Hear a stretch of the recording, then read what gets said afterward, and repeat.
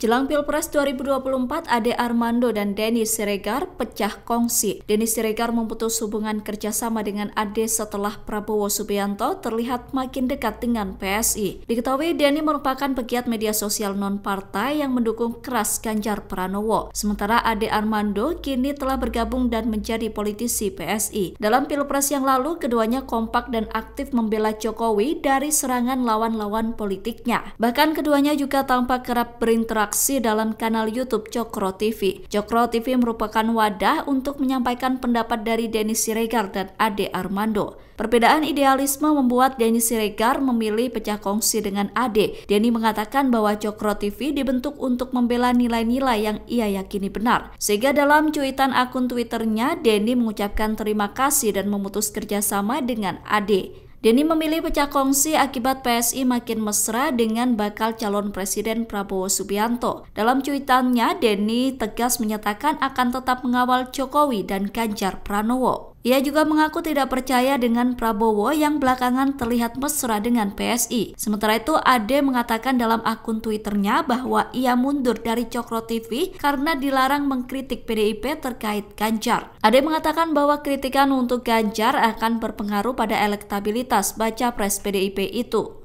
Terima kasih sudah nonton. Jangan lupa like, subscribe, dan share ya.